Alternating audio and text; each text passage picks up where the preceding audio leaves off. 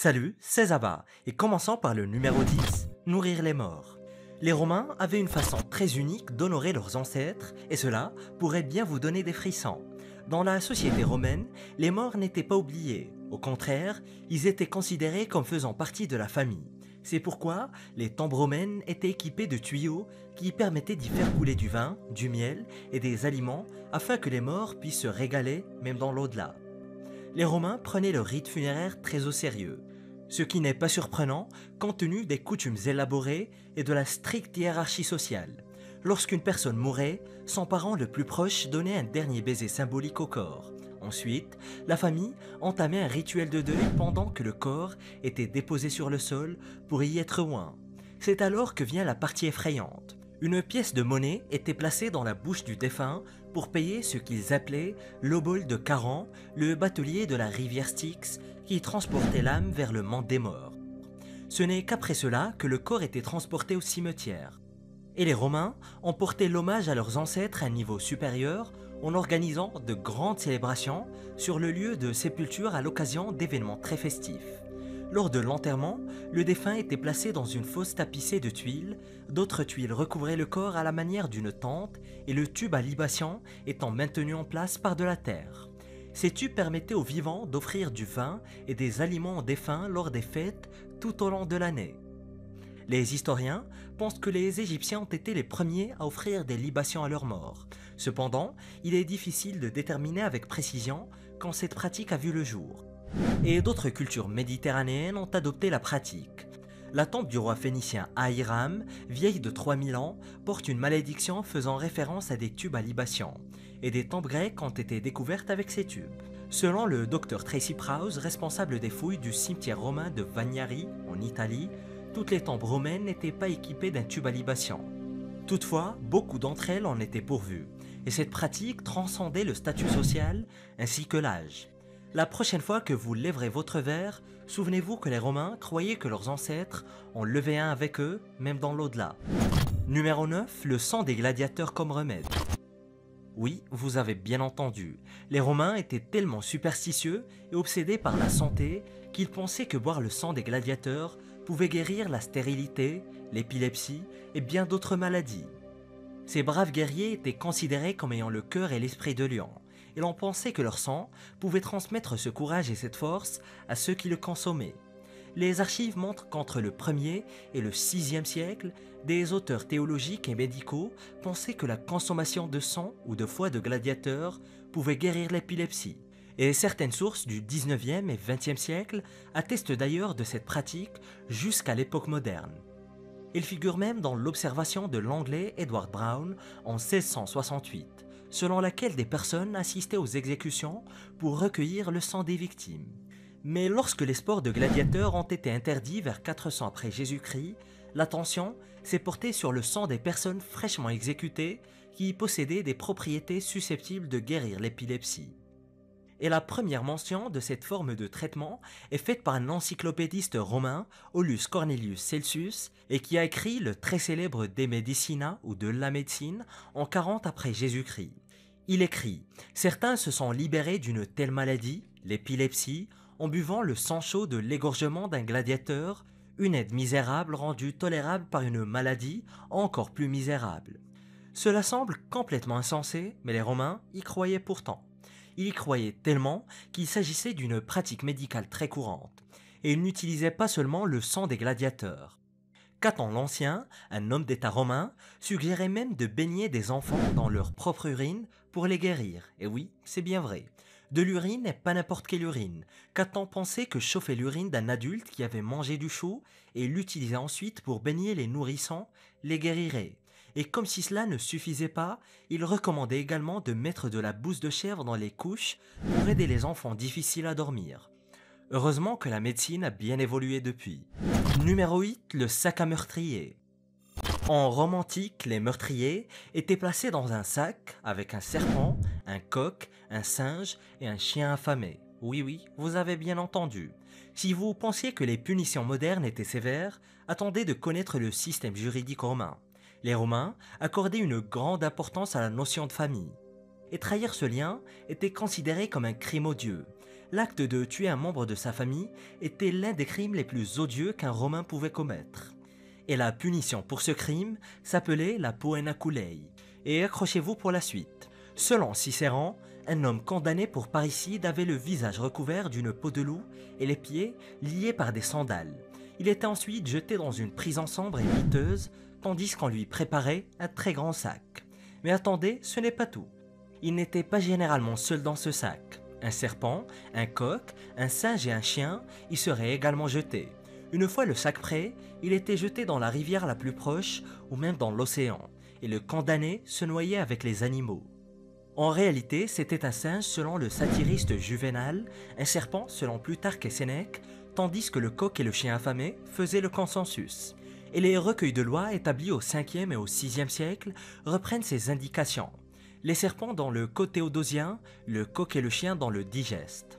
Et l'idée sous-jacente à cette horrible punition était que le meurtrier soit contraint de subir le même sort que les animaux, souvent associés à la trahison et à la tromperie dans la culture romaine. Les Romains prenaient très au sérieux la loyauté familiale, et ce châtiment était un avertissement pour tous ceux qui osaient trahir leurs proches. Numéro 7. L'homme contre la bête. Rome était aussi un monde de mort, de gore et de spectacles glauques. Les Romains aimaient se divertir et rien n'était plus excitant que de voir un être humain lutter pour sa vie contre des bêtes féroces et sauvages. Cette forme de châtiment, appelée damnatio ad bestias, condamnation aux bêtes, était une forme très répandue de peine capitale dans l'Empire romain. La pratique consistait à jeter les prisonniers dans l'arène, souvent désarmés et enchaînés, pour qu'ils soient mis à mort par des animaux sauvages, notamment des lions, des tigres et des ours. Entre le 1er et le 3e siècle de notre ère, cette peine a été appliquée aux pires criminels, aux déserteurs, aux esclaves et même aux chrétiens dans les premiers temps de l'Empire romain. Imaginez que vous soyez condamné à mort et que vous deviez affronter un lion géant en sachant que vous n'avez pratiquement aucun espoir de survie. Les Romains estimaient que cette forme de châtiment était une fin appropriée pour les ennemis de l'État. Il s'agissait d'un spectacle public qui attirait des foules venues de toute la ville pour assister à l'effroyable événement. Même les premiers chrétiens, comme Tertullien et Cyprien, ont qualifié cette pratique de perverse, inhumaine et répugnante. L'idée que des humains combattent des animaux pour se divertir peut nous sembler barbare et étrange aujourd'hui, mais c'était un aspect normal de la vie dans la Rome antique. En fait, les jeux inauguraux de l'amphithéâtre Flavien, en l'an 80 de notre ère, comprenaient des exécutions par des animaux sauvages dans le cadre du spectacle. Il s'agissait d'une horrible démonstration de pouvoir et de contrôle de la classe dirigeante sur ceux qu'elle considérait comme inférieurs ou indésirables. Ainsi, la prochaine fois que vous penserez au faste et au glamour de la Rome antique, rappelez-vous que c'était un monde de sang, de mort et de divertissement aux dépens de vie humaine. Numéro 6. Éponge sur un bâton. Plongeons dans le monde de l'hygiène romaine, ou devrais-je dire l'absence d'hygiène. Qui a besoin de papier toilette quand on peut utiliser une éponge sur un bâton? Les Romains se servaient d'un appareil appelé xylospongium ou tersorium qui était en fait une éponge attachée à un bâton qu'ils utilisaient pour se nettoyer. Jusqu'ici, rien de bien choquant, mais attendez la suite. Il rinçait ensuite l'éponge dans un seau de vinaigre ou d'eau salée et le remettait dans le seau pour que la personne suivante puisse l'utiliser. Burke. Certains Romains allaient même jusqu'à utiliser des morceaux de céramique cassés pour se nettoyer. Ces tessons étaient soigneusement retaillés pour obtenir un angle lisse. Et oui, ils se torchaient bel et bien avec des morceaux de céramique. Et ce n'est pas vraiment étonnant que ce soit la façon de se nettoyer qu'ils préféraient le moins. Tu m'étonnes. Et comme si ce n'était pas assez dégoûtant, les Romains n'étaient absolument pas conscients des dangers de la transmission de bactéries. Ils se servaient toujours de la même éponge ou le même morceau de poterie. Oui, il y a de quoi avoir des hauts. Disons simplement que nous sommes reconnaissants pour l'invention de la plomberie moderne et du papier toilette. Numéro 5. Détergent au pipi. On dit que les déchets des uns sont les trésors des autres. Préparez-vous donc à être dégoûté, car les Romains de l'Antiquité avaient des méthodes assez répugnantes pour nettoyer leurs vêtements, car l'ingrédient secret de leur détergent pour le linge n'était autre que l'urine. En effet, après avoir lavé leurs vêtements, ils les frottaient généralement avec de l'urine, et après avoir fini, ils les frottaient avec des plantes odorantes pour en masquer l'odeur. Oui oui, c'est bien ça. Et malgré l'odeur très forte de l'urine, les Romains n'avaient pas le luxe des détergents modernes qui laissaient une odeur de fraîcheur et de propreté sur les vêtements. Ils devaient frotter leurs vêtements avec des fleurs de laurier ou d'autres plantes odorantes pour éliminer l'odeur. Mais pourquoi l'urine, me direz-vous? Eh bien, l'ammoniac qu'elle contient est suffisamment efficace pour nettoyer les vêtements. Malheureusement, la plupart des Romains n'avaient pas les moyens d'acheter de la lessive coûteuse pour laver leurs vêtements. En fait, dans la Rome antique, les récipients destinés à recueillir l'urine étaient monnaie courante dans les rues. Les passants se soulageaient dans ces récipients et lorsque les cuves étaient pleines, leur contenu était généralement transporté dans une foulonica, une blanchisserie, diluée avec de l'eau et versé sur les vêtements sales. Et le meilleur rôle dans l'histoire, c'était celui de l'ouvrier qui devait se tenir dans la cuve d'urine et piétiner les vêtements, un peu comme l'agitateur des machines à laver modernes. Les Romains faisaient également le commerce de l'urine et la vendaient à l'industrie du cuir, où elle était employée pour assouplir le cuir et enlever les poils. L'urine n'était pas seulement utilisée dans l'industrie du cuir, mais dans toute l'industrie de l'habillement.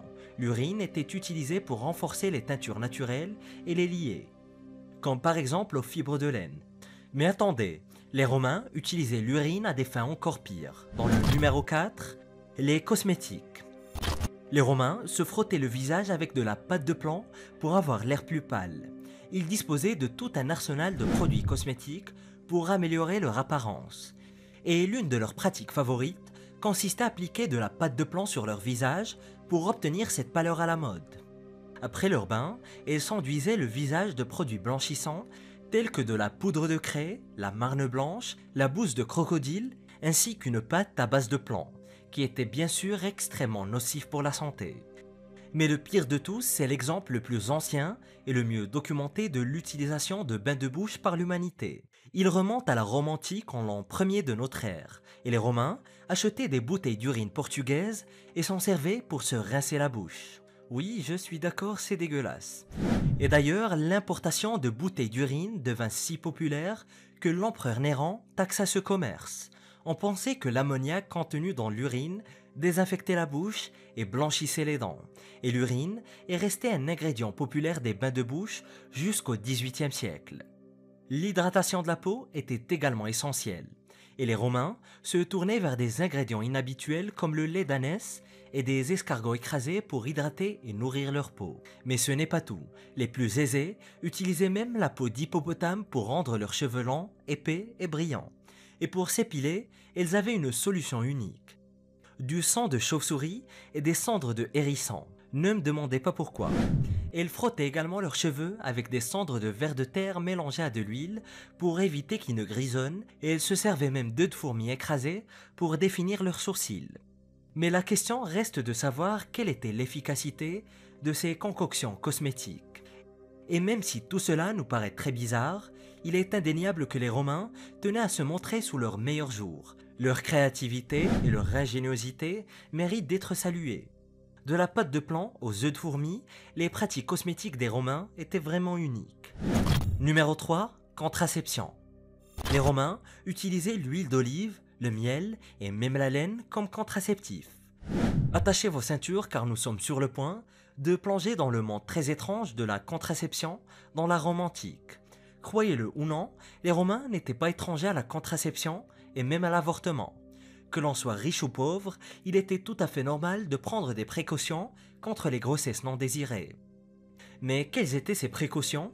Les femmes romaines avaient l'habitude d'introduire toutes sortes de substances étranges dans leur partie inférieure afin d'empêcher la conception d'un enfant. L'huile d'olive, le miel et d'autres liquides épais étaient couramment utilisés pour obstruer les voies et empêcher toute grossesse indésirée. Mais attendez, cela devient encore plus bizarre. La laine était également utilisée comme contraceptif de fortune. Et croyez-le ou non, certains médecins romains recommandaient de porter du foie de chat pour ses prétendues propriétés contraceptives. Oui oui, du foie de chat.